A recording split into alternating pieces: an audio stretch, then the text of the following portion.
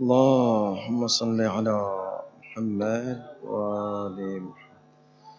الفاتحة فرع المرحومين. بسم الله الرحمن الرحيم.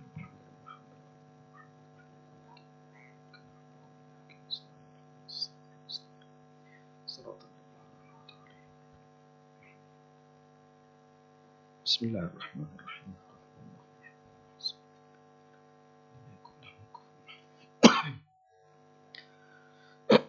أعوذ بالله السميع العليم من شر الشيطان اللعين الرجيم. بسم الله الرحمن الرحيم. الحمد لله رب العالمين. والصلاة والسلام على سيدنا ونبينا وحبيب قلوبنا وطبيب نفوسنا وشفيع ذنوبنا سيدنا ومولانا أبي القاسم محمد. صل على محمد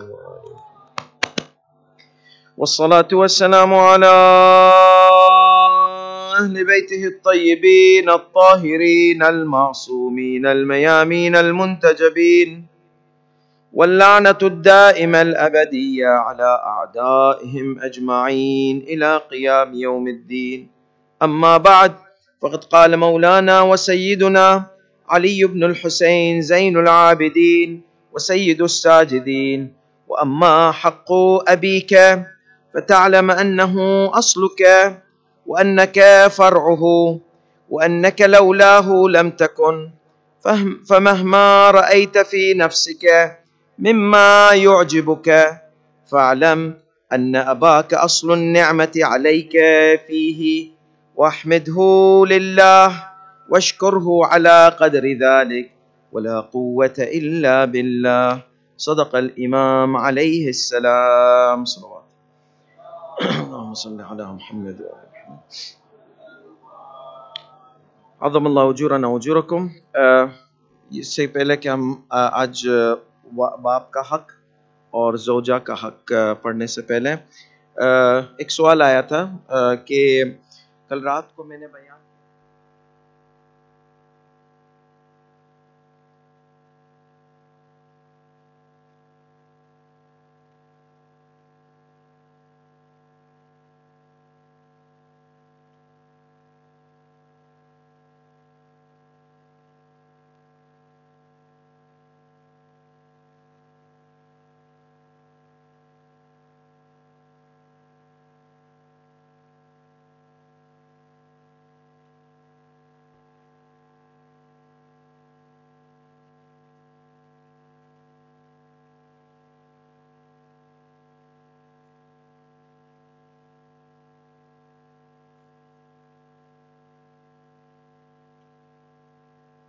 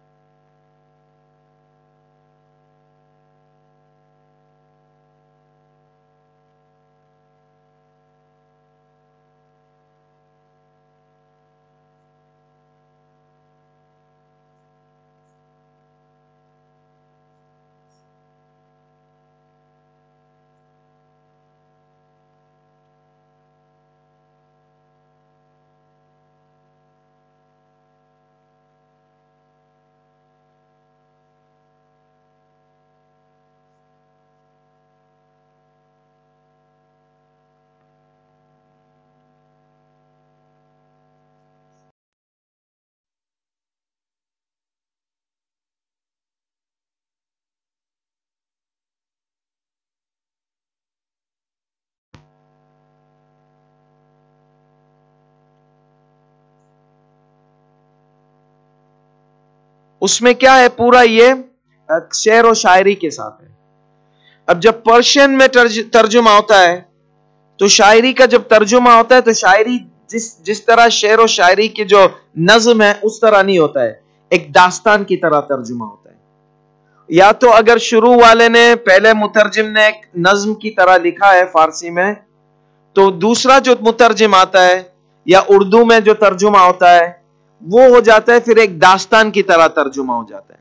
تو شعر و شاعری جو ایک تھی، وہ ایک داستان بن گئی ہے۔ اور ہسٹری کا ایک ٹیکسٹ بن جاتی ہے ذاکرین کی کتابوں میں۔ تو اسی لیے جو ہے، اردو ذاکرین، جن کو عربی نہیں آتی ہے، وہ مجبور ہے کیونکہ ان کے پاس یہی اردو کتابیں ہوتی ہیں اور زیادہ تر مجالس کی کتابیں ہوتی ہے اور یہ مجالس کی کتابیں میں جو ہے، کافی مرچ اور مسالہ مکس ہو گیا ہوتا ہے۔ سمجھ گیا نا؟ یعنی حقیقت جو ہے تاریخی جو حقیقت ہے، اس میں کافی جو ہے شعر و شاعری، شعر و شاعری، شعر و شاعری کر کے پورا ایک اتنا بڑا دا، بڑی داستان بن جاتی ہے کہ پتہ نہیں چلتا ہے کہ اس کے اندر حقیقت کون سی جو عربی سمجھتے وہ پڑھتے اور دیکھتے کمپیر کرتے ہیں۔ یہ تو تاریخی نس تو اتنی جائے، تاریخی داستان تو اتنی ہے۔ اتنی بڑی داستان کیسے ہو گئی پھر پتہ چلتا ہے کوئی شعر و شاعری کا بھی ترجمہ ہوا ہے۔ جو ادبی لحاظ ہے، تو اسی لیے جو ہے یہ فرق یہاں پر آ جاتا ہے۔ اردو مجالس اور عربی مجالس، عربی سب مجالس نہیں، عربی مجالس میں بھی شعر و شاعری، لیکن اس میں شعر و شاعری شعر و شاعری کی طرح پڑھی جاتی ہے۔ داستان کی طرح نہیں پڑھی جاتی ہے۔ اور تو یہ ایک پرابلم ہے۔ تو فار لیفٹ فار رائٹ جو ہے جو بھی اردو کی مجلس کی کتاب میں ان کو وہ داستان کی طرح بیان کرتے ہیں، جیسے کہ وہی نازل ہوئی۔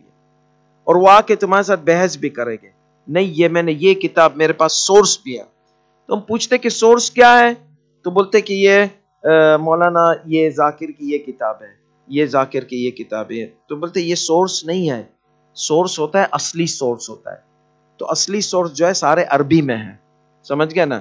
تو یہ یہ یعنی جان بوجھ کر کوئی نہیں کر رہا ہے، کیونکہ مجبور ہے، اگر عربی نہیں آتی ہے تو جو ریسورس ہوتا ہے ان کے پاس یہی ہوتا ہے۔ اللہ ان کو سلامت رکھے کوشش ان لوگ کرتے ہیں کہ سورس سے پڑھے لیکن وہ سورس جو ہے نا، اس میں کافی جو ہے ملاوٹ ہو گیا ہوتا ہے۔ تو یہ ایک یہ فار رائٹ تو فار رائٹ جو ہے، بس نہیں بیان لکھا ہے۔ میرے پاس سورس ہے۔ اس سورس میں یہ لکھا ہے۔ اس سورس کا کون سا سورس ہے؟ فلان ذاکر علیہ محمد کی مجلس کی کتاب میں، مجلس نمبر ون کی کتاب میں پیج نمبر ون تو یہ مجلس کی کتاب ہے۔ یہ ہسٹوریکل سورس کی کتاب نہیں ہے اوریجنل سورس نہیں ہے۔ اور اس میں ریفرنس بھی نہیں دیا ہے کہ یہ مولانا نے کہاں سے نکالا ہے۔ تو یہ دوسرا پرابلم آ جاتا ہے۔ تو ان لوگ جو ہے یہ لیتے ہیں۔ اچھا اس کا ریئیکشن کیا ہوتا ہے؟ فار لیفٹ والے۔ فار لیفٹ والے سب چیز، پھر بعد میں جو اصلی ٹیکسٹ ہوتا ہے، اس کو بھی انکار کرنے لگ جاتے ہیں۔ نہیں نہیں، یہ نہیں ہوا۔ نہیں نہیں، یہ نہیں ہوا۔ یہ نہیں ہوا۔ یہ نہیں ہوا۔ یہ کمزور ہے۔ یہ یہ ہے۔ تو اصلی ٹیکسٹ جو ہے، اس کو بھی تو کربلا کا واقعہ جو ہے بالکل کمزور کر ڈالتے ہیں۔ تو یہ فار لیفٹ والے، فار رائٹ والے اور فار لیفٹ والے، یہ سب ریئیکشن ہے تو مرجعیت کا کیا ڈائریکشن ہے؟ ماڈریشن کیا ہے؟ ماڈریشن یہ ہے، جو ٹیکسٹ آیا ہے، جو حقیقی ٹیکسٹ ہے، وہ بیان کرو۔ اور کافی ہے، اگر دو تین لائن بھی پڑھ لے ہوئے، دردناک لائن ہے، وہ کافی ہے کہ آنسو نکل جاتے ہیں۔ یعنی جس کو محبت ہے امام حسین علیہ السلۃ وسلم سے، دو لائن بھی غم کی پڑے گا نا، تو اس کا دل جو ہے نا ٹکڑے ٹکڑے ہو جائے گا۔ اس کو مرچی، مسالہ، ملاوٹ ملاوٹ کی ضرورت نہیں پڑتی ہے۔ سمجھ گئے نا؟ ایک ٹریڈیشن ہو گیا، ایک کلچر ہو گیا کہ مجلس لمبی کرو، اگر بس لمبی مٹیریل نہیں ہے، بس ڈالو اندر۔ ملاؤ، سمجھ گیا نا؟ سب مرچ، مسالہ ملاؤ۔ یہ پرابلم ہے۔ اگر یہ ہم کرتے رہ گئے اور یہاں ممبر سے بیٹھ کر کرے گے تو ہماری آنے والی نسل جو ہے بھی بھروسہ نہیں کرے گی۔ آج کل سب انٹرنیٹ نیٹ پہ چیک بھی ہو سکتا ہے۔ داست تاریخی داستان جو بیان کربلا ہے، حقیقی بیان کربلا، وہ سب ہے۔ پھر بعد میں ینگسٹرز کمپیر بھی کرے گے۔ بولے کہ ارے یہ تو ممبر سے خالی خالی اب میں کمپیر اتنا نہیں کرنا چاہتا ہوں، لیکن ایک مثال دیتا ہوں۔ کرسچینٹی میں ینگسٹرز چرچ کیوں نہیں جاتے؟ بولتے ہیں تو ہم کو الو بناتے ہیں۔ پادری جو پریسٹ وغیرہ ہے، الو بناتے ہیں۔ کیوں؟ بولتے کہ Santa Claus, Christmas Christmas tree, یہ کیا یہ حضرت عیسیٰ سے اس کا کون سا رابطہ ہے؟ سمجھ گئے نا؟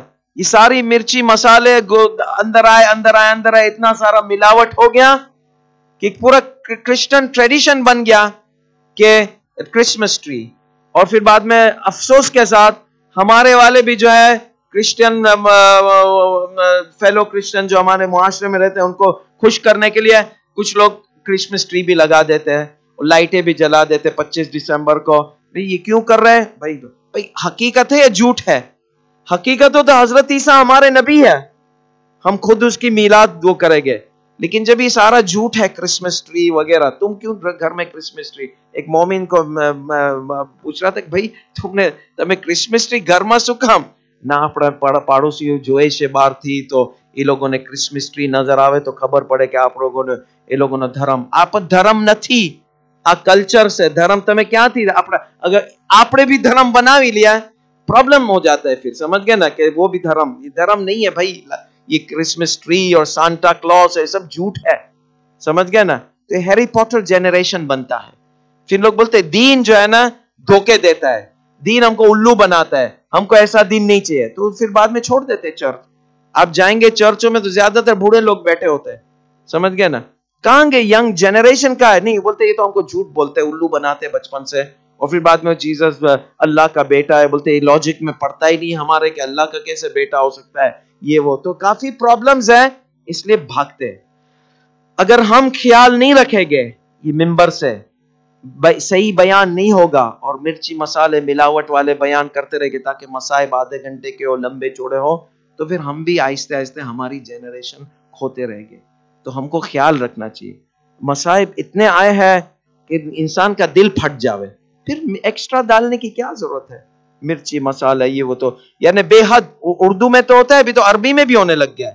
ابھی عربی میں بھی۔ بھائی تم تو اردو کے پاس، ذاکرین کے پاس، بیچاروں کے پاس صرف اردو کی طرف تم تو عرب ہو، تم تو جا کے اوریجنل سورسز دیکھو، اس میں کیا لکھا ہے۔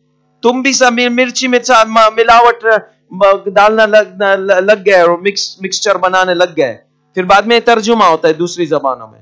اور پھر کربلا کا بھی ماڈل ہو گیا۔ بولتے نا کہ ہر سال نئی گاڑی نکلتی ماڈل تو بولتے آور سے آپ نے کہا نیا ہم کو سننا ہے، کچھ کچھ نیا سننا ہے۔ تو بیچارہ ذاکر کیا کرے گا؟ اس کی مارکیٹ خراب ہو جائے گی۔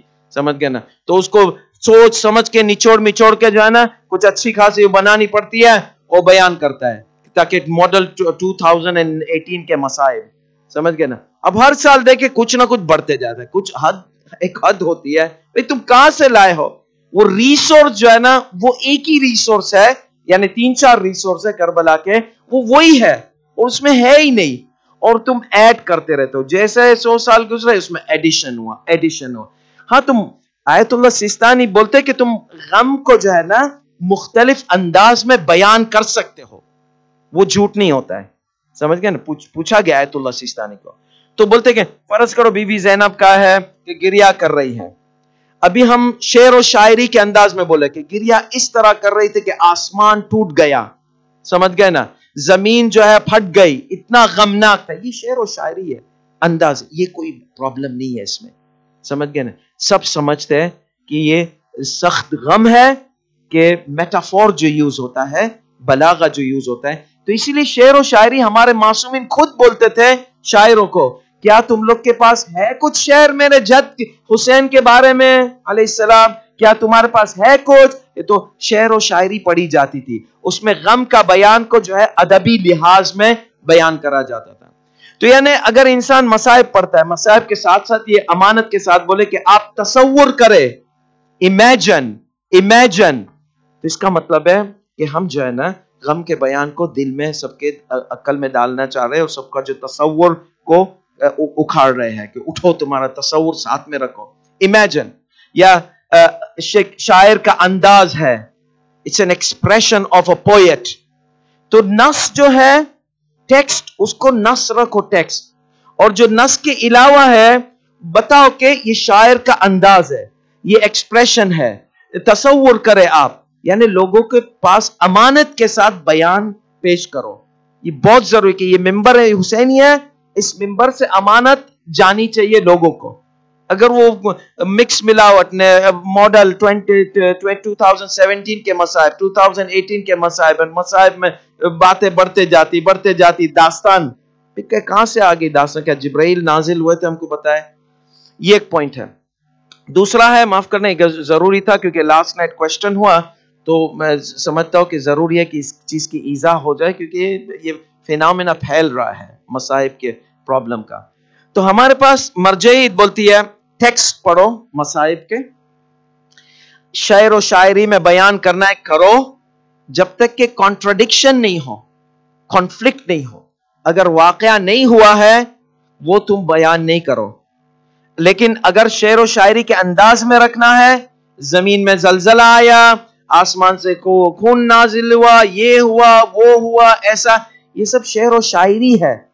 سمجھ گئے نا؟ عربی شعر و شاعری ہے اور یہ جب ترجمہ کیا ہے تو اس میں کہ زمین میں زلزلہ آیا، نے یہ آیا، نے وہ آیا، یہ سب شعر و شاعری ہے۔ اس میں جو ہے ہسٹوریکل ٹیکسٹ آپ کو اوریجنل ہسٹوریکل ٹیکسٹ میں نہیں ملے گا یہ چیز ہے تو شعر و شاعری تھی عربی کی اور صحیح ہے، شعر و شاعری میں آپ بول سکتے ہیں کہ زلزلہ آیا، زمین مر آسمان میں اندھیرا ہو گیا، یہ ہو گیا۔ یہ ساری جو خیالات ہے یہ غم کے خیالات ہے میٹافور ہے مجازی بلاغہ ہے اور یہ جائز ہے لیکن یہ ہے کہ داستان داستان رہے اور خیال جو ہے، جتنا بھی تم کو گہرا جانا ایز لانگ ایز وہ جھوٹ نہیں ہو جائے۔ سمجھ گئے نا؟ اس کا خیال رکھنا چاہیے مسائل میں۔ تو ٹیکس جو ہے ہسٹوریکل ابھی ہسٹوریکل ٹیکس جو ہے، بہت سے فار لیفٹ جو ہے، بولتے نہیں، یہ تو حدیث ثابت نہیں، یہ تو حدیث ثابت نہیں، یہ تو حدیث ثابت نہیں ہے۔ تو کربلا کا پورا بیان جو ہے ختم ہو جاتا ہے۔ تو ایک جگہ پہ شعر و شاعری کو بیان بنا دیے فار رائٹ والوں نے۔ اور ایک جگہ پہ ہر چیز انکار کر رہے نہیں یہ تو نہیں یہ تو نہیں۔ اور وہ خود فار لیفٹ والے جو ہے دوسری ایسی چیز لاتے جو کہ کانٹروڈکٹنگ ہے اور اس کی کوئی سند نہیں ہے اور وہ ایک فیکٹ کی طرح بیان کرتے ہیں۔ میں نے خود دیکھا ہے یعنی فالو کیا ہے لیکچر ان لوگ کے۔ تو, تو ان لوگ جو ہے نا کانٹروڈکٹنگ کانٹروڈکشن میں پھنسے ہوئے یعنی تضاد میں۔ فار لیفٹ والے۔ اور فار رائٹ والے، ان کے پاس یہ مجلس کی کتاب ہے جو اردو ذاکرین ہے وہ جبرائیل نے نازل کی ہے۔ یعنی بس وہ حقیقت پورا ہے۔ یعنی وہ انداز جو ہے، شعر و شاعری کا وہ بیان ہے۔ ماڈریشن یہ ہے، ہمارے پاس دو تقاضے حدیث کے حدیث کو اوتھینٹسی کے۔ ایک تو فقہی تقاضا ہے۔ فقہی تقاضا میں ہم کو دیکھنا چاہیے حدیث صحیح ہے یا حدیث صحیح نہیں ہے۔ پھر فتوا نکلتا ہے۔ یہ اسٹرکٹ تقاضا ہے یعنی محکم تقاضا کرائٹیریا دوسرا اسٹینڈرڈ دوسرا ہے تاریخ. تاریخ دعا اور اخلاقی حدیث ہے، زیادہ تر اس میں سند نہیں ہے۔ سند دیکھنے بیٹھے گے تو نہیں ہے۔ اس کا طریقہ یونیورسٹی آف کیمبرج میں آکسفرڈ میں ویسٹرن یونیورسٹیز میں کلیکٹ دا ٹیکسٹ یہ ٹیکسٹ لاؤ، یہ ٹیکسٹ لاؤ، پورے ایک داستان بناؤ۔ سمجھ گئے نا؟ اور مرجع بھی یہی بولتا ہے کہ ہسٹری میں تم کو سند دیکھنے کی ضرورت نہیں ہے۔ اگر ہسٹورین معروف ہے، تاریخ جس نے لکھی وہ معروف ہے، اور اس کا پروفیشن تھا معرخ تھا، اور اس میں عقیدے کی خلاف کوئی بات نہیں ہے، یا صحیح حدیث کے متباد کوئی بات نہیں ہے، یا صحیح آیت، قرآن آیت کے مخالف کوئی بات نہیں ہے، تو وہ تم ہسٹورک ٹیکس بیان کر سکتے ہو۔ وہ ہسٹری ہوتی ہے۔ کیونکہ ہسٹورین جو تھے ہسٹری میں تم عادل ڈھونڈنے جاؤں گے، تو کچھ ہسٹوریکل ٹیکسٹ وہ یزید کے، جو امام حسین کو قتل کرنا ہے، تو ان میں سے حمید ابن مسلم جو تھا، وہ یزید کی قوم میں سے تھا، یزید کے لشکر میں سے۔ تو اس کی ساری جو ہسٹری کو پھینک دینا ہوگا، کیونکہ نہیں، وہ تو عادل نہیں تھا۔ لیکن وہ ہسٹورین تھا۔ اس کا کام تھا ہسٹری لکھنا، دیکھنا کیا کیا ہو رہا ہے۔ اس کا پروفیشن تھا۔ اس کا جو تھا پروفیشن تھا یعنی وہ پروفیشنل ہسٹورین تھا۔ تو حمید بن مسلم کا ٹیکسٹ ہم لیتے ہیں۔ حالانکہ عادل نہیں تھا۔ لیکن کیا ہے کہ اس نے دیکھا کیا کیا ہوا۔ ایسی چیز اگر حمید ابن مسلم بیان کرتا ہے، جو عقیدے کے خلاف ہے، وہ ہم نہیں لیں گے جو قرآن کی آیت کے خلاف ہے، وہ نہیں لے گے صحیح حدیث کے خلاف ہے، وہ نہیں لے گے باقی جتنی بھی ہسٹوریکل داستان ہے، وہ ہم لے گے تو کربلا کا ہسٹورین جو ہے، جو لوگ دیکھتے تھے اور نقل کرتے تھے داستان اس میں سے کچھ عادل تھے، کچھ عادل نہیں تھے۔ تو اس میں جو ہے نا، عدالت کا کرائٹیریا نہیں ہے، اس میں پروفیشنلزم کا ہے۔ کہ پروفیشنل تھے۔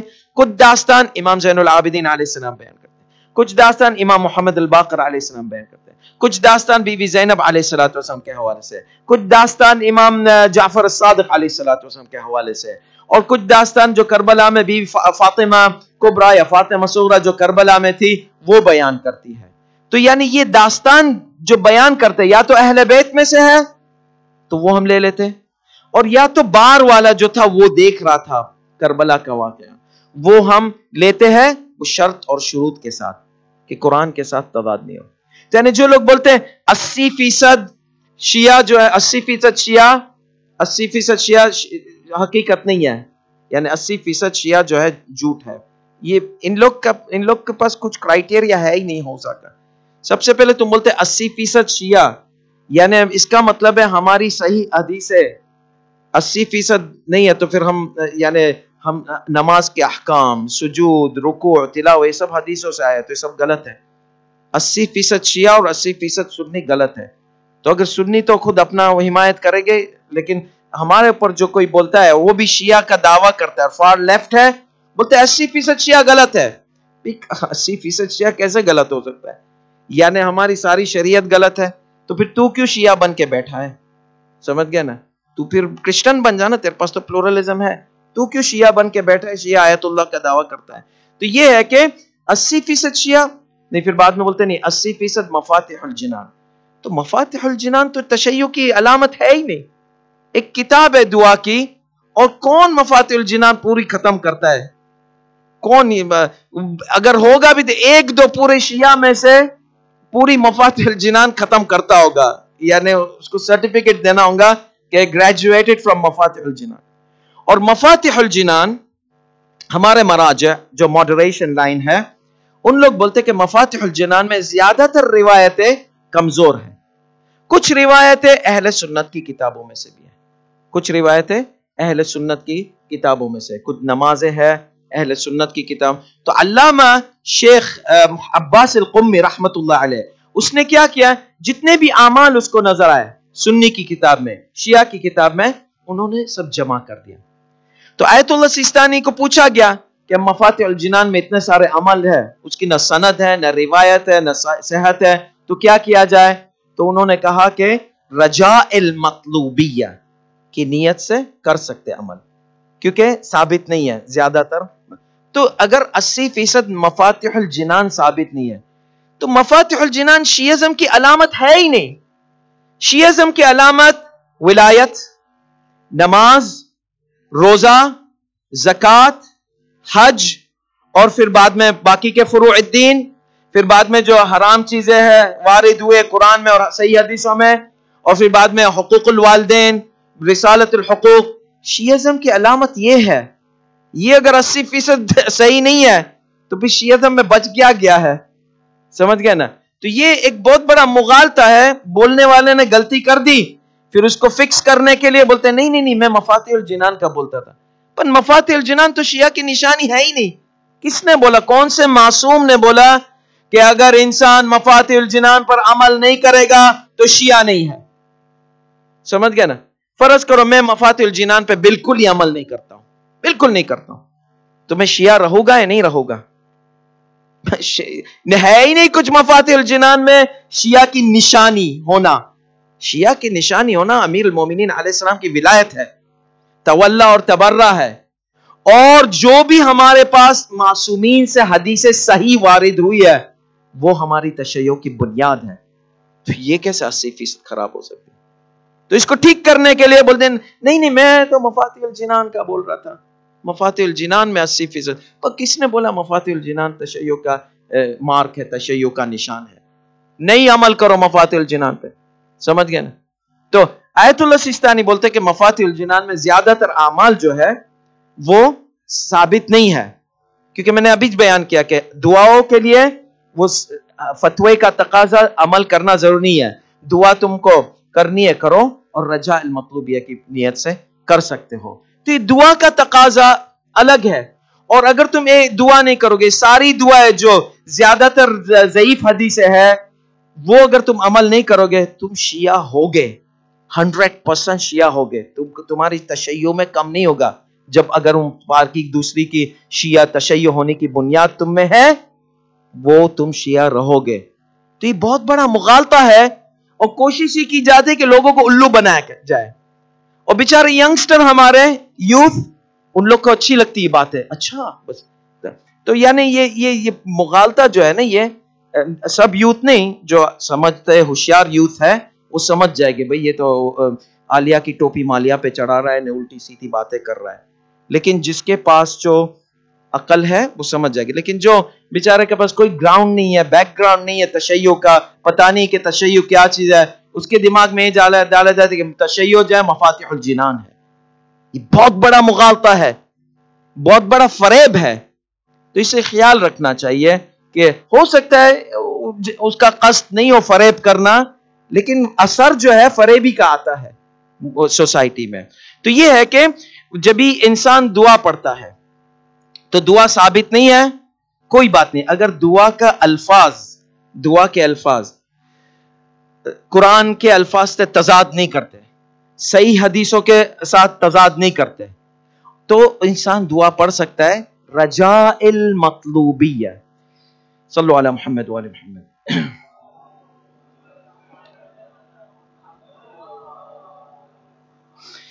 تو یہ ٹاپک ضرور یہ ابھی یہاں تک پہنچ گیا تو میں رجا المطلوبیہ کا بیان کر کے پھر انگلش میں منتقل ہو جاتا ہوں۔ تو رجا المطلوبیہ کا مطلب کیا ہے؟ یا کہ حلوہ پراٹھے کا ڈش ہے یہ رجا المطلوب آپ تو پہلی وقت سامبڑے چاہ سوچیا کھاوانو چھے پیوانو چھے رجا المطلوبیہ رجا المطلوبیہ رجا کا مطلب ہے ہوپ امید۔ مطلوب یعنی طلب۔ امید ہے کہ یہ چیز مطلوب ہے میرے سے۔ امید رکھتا ہو کہ اللہ میرے سے طلب رکھتے ہیں وہ کیوں ہے؟ اگر ایک حدیث میں عمل آتا ہے، اگر ایک حدیث میں عمل آتا ہے سمجھ گیا نا؟ کہ فرض کرو اعمال، دعائے جوشن کبیر فار ایگزامپل دعائے جوشن کبیر کی صنعت متصل نہیں ہے، سمجھ گئے؟ لیکن دعائے جوشن کبیر میرے کو پڑھنی ہے۔ تو ہو سک، جب ہم بولتے ہیں نا سند نہیں ہے لنک نہیں ہے اس کا، ہو سکتا ہے، صحیح ہو؟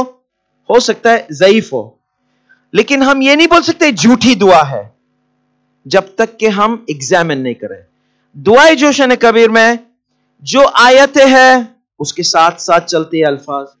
جو صحیح دعائیں وارد ہے معصومین کی، اس کے ساتھ ساتھ چلتی ہے دعا۔ اور اس کے اندر کوئی بھی ایسا جملہ نہیں ہے جو عقیدے کے تضاد ہو۔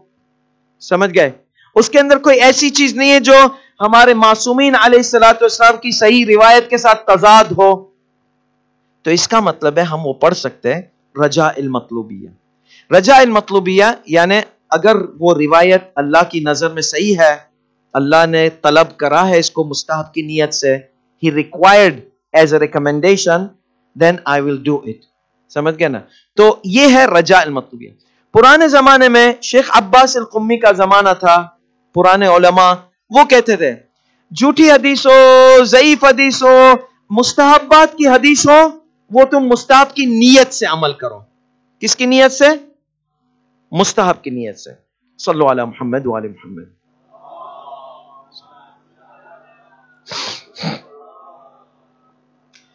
So there are recommendations in Mafatih al-Jinan. So there are two theories. These recommendations have not been proven by authentic hadith. So there are two theories uh, uh, uh in front of our scholars, great scholars, Maraja. Previously, they had this theory that whenever you hear something is mustahab and you don't know about its authenticity, you're not sure about its authenticity, do it and you will get the reward. Do it with the intention of istihbab. Focus with me. We have two intentions. Istihbab, recommendation, raja al-matlubiyya. So youngsters, how many intentions?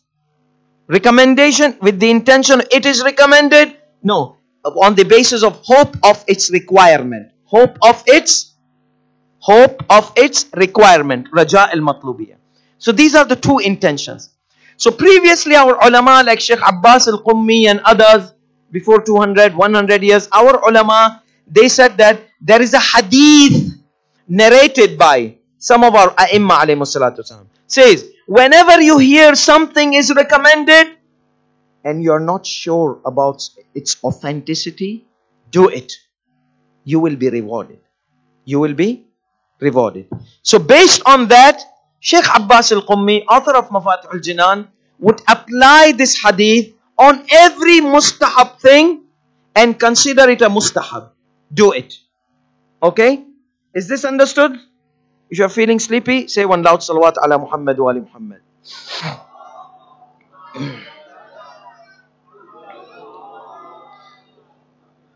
So this is number one. Because there is a hadith which says, whatever you hear, it is mustahab, and you are not sure about its authenticity. Do it, you'll be rewarded.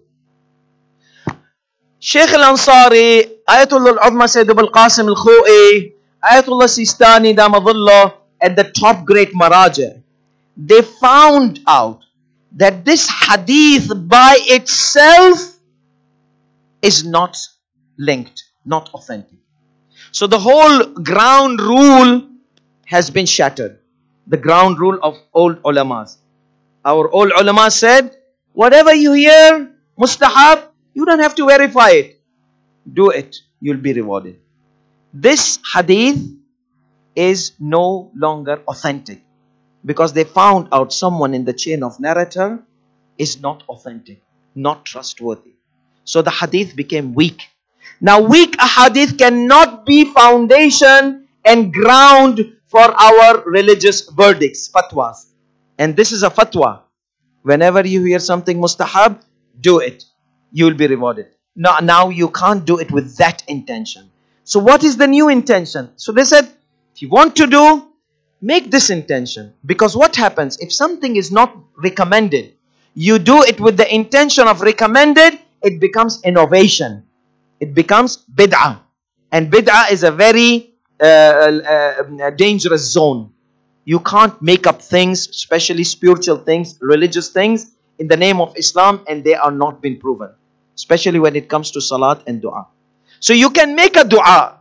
Nobody will stop you. But don't say this dua is narrated by a masoom.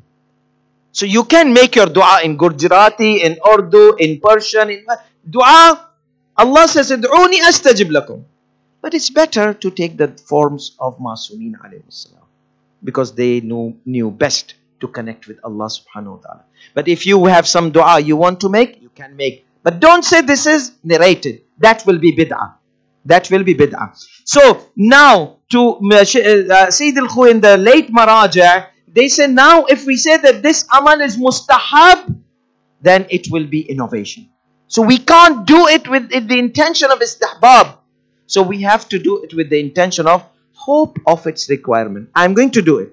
Perhaps it is authentic in sight of Allah. Then I will be rewarded. If not, then Allah subhanahu wa ta'ala have His mercy inshallah. And it's a dhikr of Allah anyways. But I'm not, I'm not making, uh, I'm not performing it with the intention of its validity. So this, these are the two intentions. So many du'as, like for example this far left, I'll give you an example and how Sayyid al-Khu'i Quddis tackled these issues. So far left came up with this weird idea. Dua tawassul is not uh, authentic. Dua tawassul. Oh my goodness. So what will we do? So they came and asked Sayyid al-Khu'i. Sayyid al-Khu'i had a methodology that don't, if, if, if specific thing is not proven, go to the general things and apply those general rules on these specifics. On these specifics. If they are according to the general rules, then you are okay. Then bring it. Okay? So what is in dua tawassul? Number one, it's dua. Somebody says dua is haram. Just now I said you can make your own duas. Let's say the one who narrated this dua, he made this dua. So we can do this dua. Okay, because Allah says, Ud'uni astajib lakum. So one general rule, check. So, so uh, those youngsters, young youngsters, count with me how many uh, how many general rules are there in dua tawassul. Because you will you will see someone come here and weirdo guy with weird ideas far left and he'll say oh dua tawassul is not narrated. So i want you to be strong and respond. So number one it is dua. Number one it is dua and dua is highly recommended in the Holy Quran. So, Allahumma inni as'aluka wa tawajjahu ilayka. And then, what am I doing in this dua? I'm putting imams as my mediation, intercession. So, is the intercession mentioned in the Quran? Yes. Man ذا الذي يشفع عنده إلا the shafa is there Inna tawajjahna wastashfa'na. so is shafa'at there in the Quran, my youngsters, or not? Intercession is there or not? It is there. So how many? Tick. Two ticks. Okay. And then what are we doing? Ya wajihan indallah. You're talking to the dead people. So talking to the dead people. We said regular marhumin. When we go to Kabristan, we say Assalamu alaikum. So their bodies are dead, but they are living. They are listening to us. Okay? And when it comes to martyrs, they are living a special life. وَلَا تَحْسَبَنَّ الَّذِينَ قُتِلُوا فِي سَبِيلِ اللَّهِ أَمْوَاتًا Till the end of this ayat. So that means our masumin, they are hearing or not. Are they hearing or not? So am I talking to a dead person? I'm talking to living. In salat we say Assalamu alayka ayyuhan nabi wa rahmatullahi wa barakatuh. Okay? Then we are asking them to intercede for us. We have hajat. So can our masumin do dua to Allah or not? If they are living, if they are hearing us, ziyarat, we have so many ziyarat. So how can our masumin not be uh, hearing us? And then if, if when Masum was living, if you will come to the Masum's house, Fatima Zahra alayhi salatu the manifestation of Allah's mercy on earth. Manifestation of Allah's mercy on earth. Rahmaniyatullah. How? When uh, Allah subhanahu wa ta'ala gives, when, when we have rain here, these youngsters, answer this question. When we, when we have rain in Leicester, is that like rain only falls on this masjid and does not fall on other people, uh, Hindus, Christian, or it falls for everybody. The rain falls for everybody. So that is Rahmaniyat of Allah, mercy of Allah, that it is inclusive to everybody. When it's very cold and the sun shines, does it shine only on Khoja Jamaat or our masjid? Or no, it shines on everybody. It shines on somebody will say, No, only Khoja Jamaat. We are the royal blood. So, anyhow, so it, it shines on everybody. Okay? So this is mercy of Allah inclusive. Ahlul Bayt alayhi In this world, if a non-Muslim will come to him, if Hindu will come to him, if Christian will come to him, Ahlul Bayt will give them. Because they are manifestation of Allah's mercy on earth.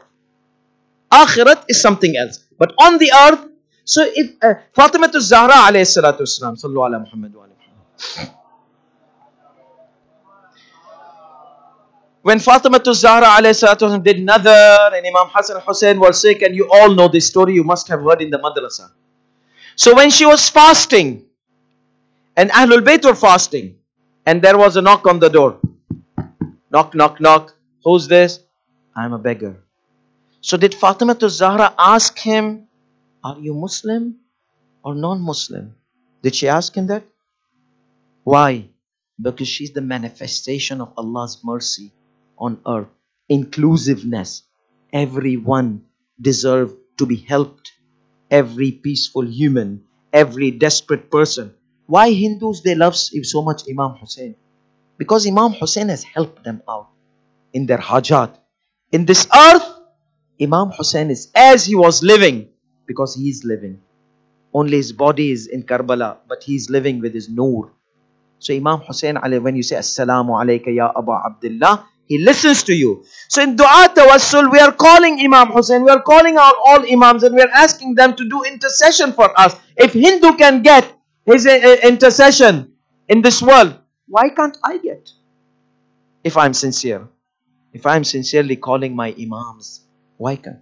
So that means, according to the methodology of Sayyid al-Khoi, dua tawassul is proven. You see? So you you don't have to know. So the, there are people that narrow-minded from far left. They just want to reject everything. Dua not, not proven. Dua also not proven. This not proven. That not proven. And that is too extreme. This side, far extreme, far left. We have to understand that our maraja they kept some methodology. We can implement these methodologies. So therefore, um, and and coming back to the history, history. So historical, we need to refer to original historical text. Now, mashallah, here I've seen the youngsters and the um, old ones, everybody's mashallah giant. And there's a legacy of knowledge built up here in this community, like some communities in London, Stanmore. So there are a few communities around the world. There is a legacy of building up knowledge because you have variety of speakers coming here far left far right moderation so now you have an opportunity you have also dr abdullah maulana abdullah here is there he knows arabic language so if somebody speaks a historical text you need to confirm just go to him ask him sheikhna maulana is this is this really available in the original arabic historical text and he has done his, his uh, work in history as well so you have a resource here you can't say, no, I don't know Urdu. Uh, maybe. So as I said, most of the majalis books in Urdu, there has been a lot of mirchi masala. There has been a lot of addition. So how can we who do not uh, understand Arabic understand? So you have resources here. You have people who have who are expert in history and done good work, extensive work in history. So talk to him. Tell them, can you just verify this? He will just give you answer after two days, one week but you will get a proper answer from a historian, from a professional. So it is very important to keep this member clear from all this hocus pocus and extra stuff and mirchi masala which is added and presented.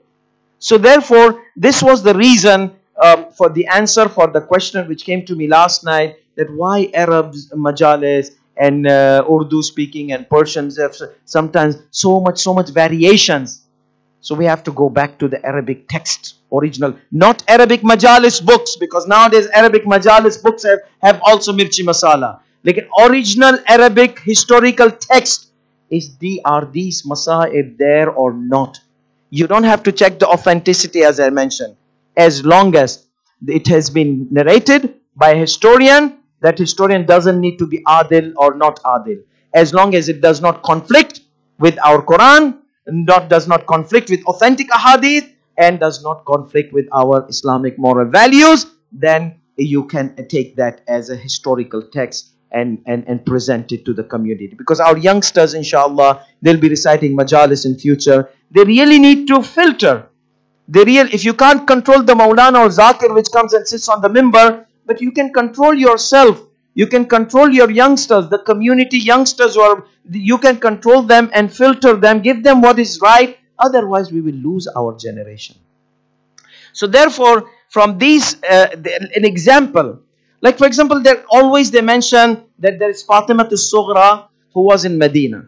Now, one place I mentioned this that there is no strong historical text, even weak historical text, I did not find in Arabic resources that there was. So the, the, the, the, community got upset. Oh my goodness, the first and second night majalis are destroyed totally. But you don't have to, if if it's not there, then you don't have bring other thing, other masaib. There's so many masaib. Why do I have to just depend on Fatima Sughra's masaib? You see, because she was with Imam Hussein alayhi salam. Now Fatima Sughra, Fatima Kubra, that's another issue.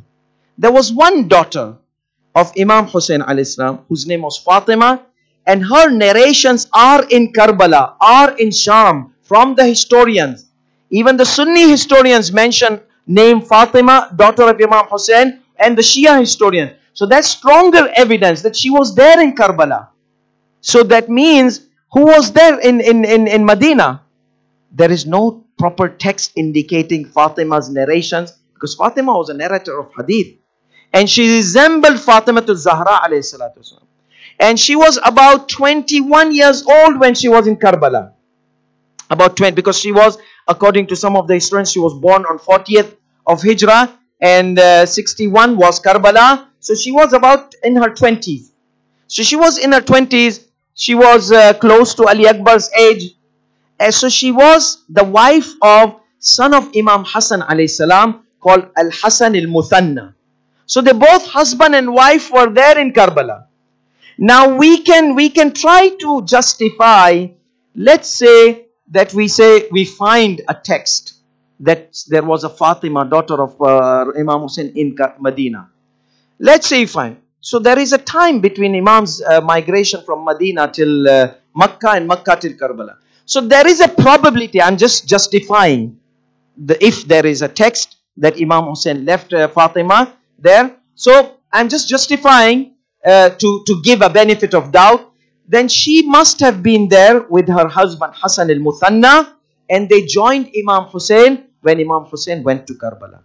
That we can we can combine, but we can't say no, no, no, no. She was not in Karbala. But what will we do with her? Her her testimony is in Karbala. What will we do with Imam Hussein's word in Karbala? Ya Fatima, ta'azzay bi illa, ya Zainab, ya Umm Kulthum, ya Sakina. So Fatima's name is there.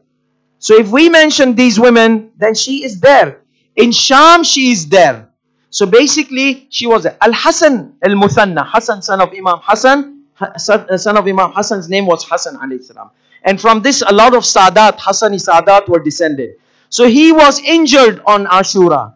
He was injured and somehow he was rescued. When he woke up, he was uh, he had lost his conscience. When he woke up, you know, like there are piles of people, bodies of people.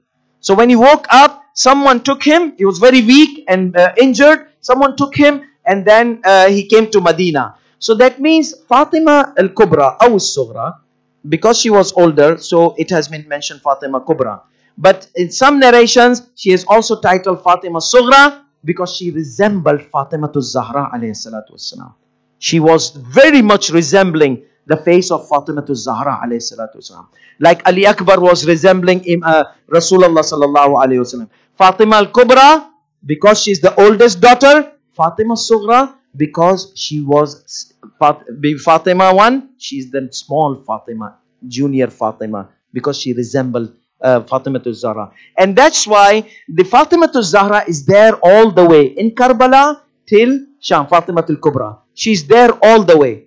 So we can't neglect this historical event just because it does not fit our first night Masaib when Imam Hussein is leaving Medina and all these poetries are there. It doesn't matter. Read the poetries, whatever, but you need to be aware about the reality or the historical evidences there.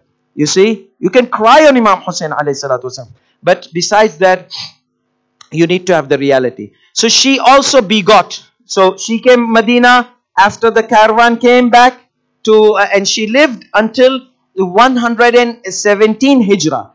That means after the martyrdom of Imam Hussein alayhi she lived about 50 years. It's Fatima Kubra or Fatima, uh, Fatima Sughra.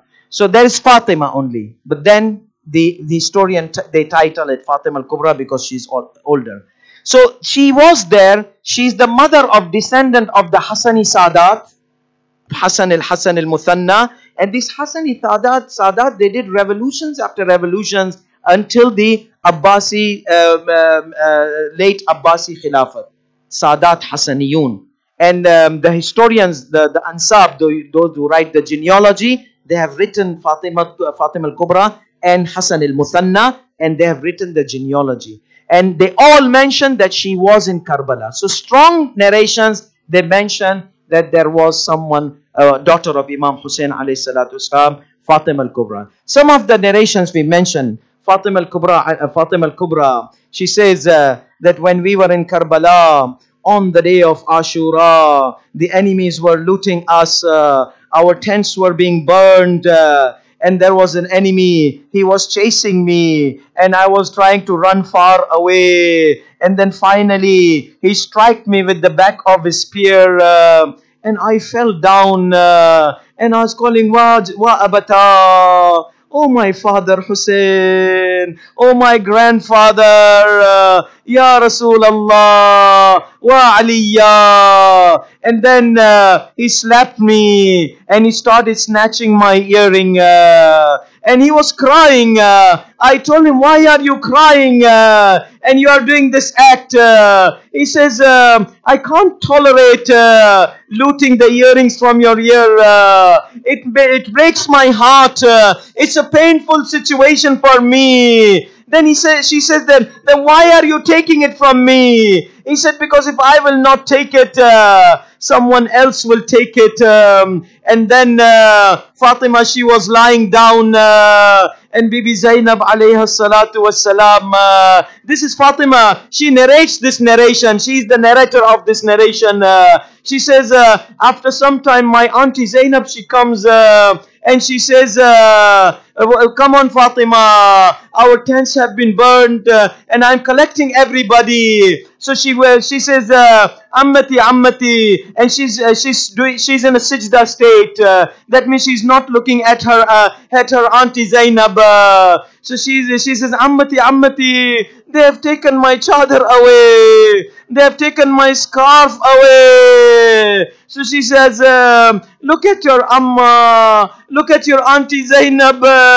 She is in a similar situation. And then this Fatima, she was tortured.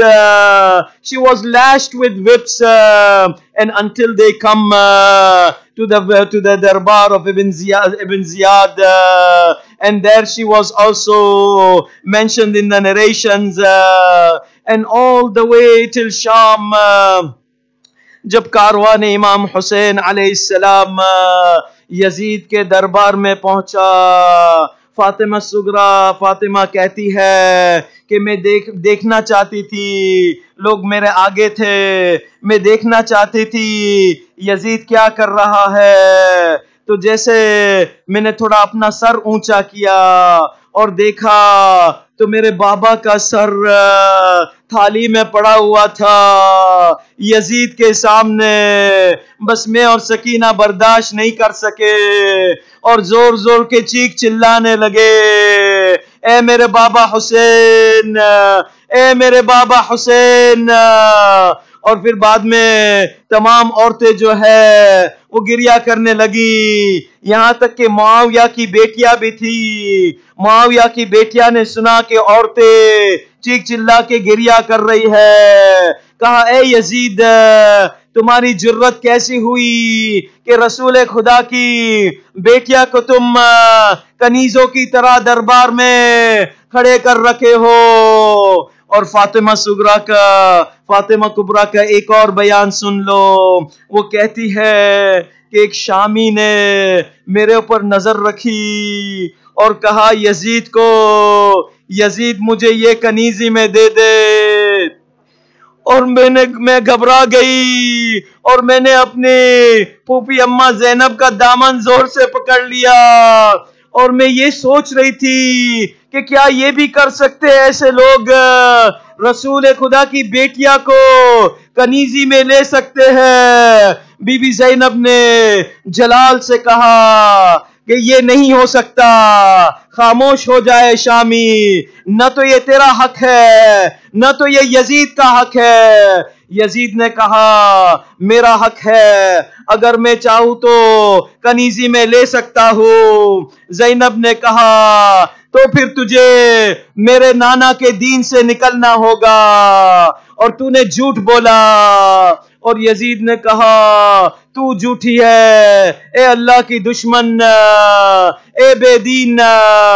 زینب نے کہا، ہم تو ہمارے نانا کے دین پر ہے، ہمارے بابا کے دین پر ہے۔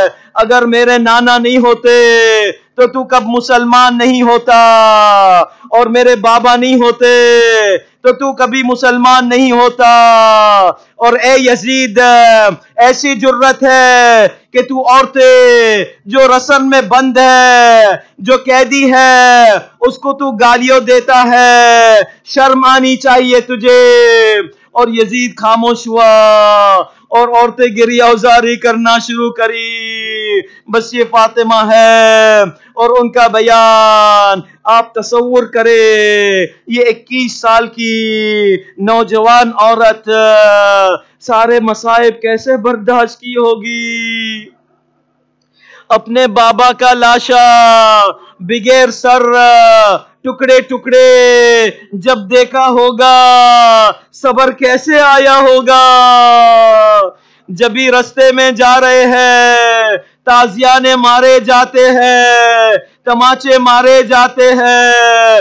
کیسے برداشت کیا ہوگا؟ ازادارو آپ رو رہے ہیں۔ آپ جی بھر کے روئے۔ آپ کو کوئی تازیہ مارنے والا نہیں ہے۔ وہاں پر، اگر فاطمہ روتی تھی، سکینہ روتی تھی، زینب روتی تھی، ام کلثوم روتی تھی تازیانہ سے خاموش کیا جاتا تھا۔ یہ برداشت کیسے کی ہوگی؟ جبھی فاطمہ نے اپنے بھائی کا لاشا دیکھا علی اکبر کا، اپنے چھوٹے بھائی علی اصغر کا لاشا دیکھا، بغیر سر کے، یہ جوان عورت کیسے برداشت کی ہوگی؟ وہ مصیبت وہ مظلومہ وحسينا وسيعلم الذين ظلموا۔ أي منقلب ينقلبون؟ ألا لعنة الله على القوم الظالمين والعاقبة للمتقين.